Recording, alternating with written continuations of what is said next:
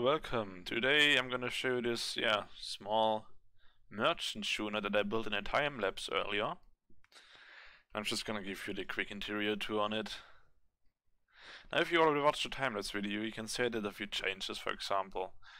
I built the sails, which I don't do that often, because you can see they didn't turn out that great. But yeah, I did them, I did a few more details, and added interior. So yeah, I'm gonna show you around real quick. You already saw the exterior like that.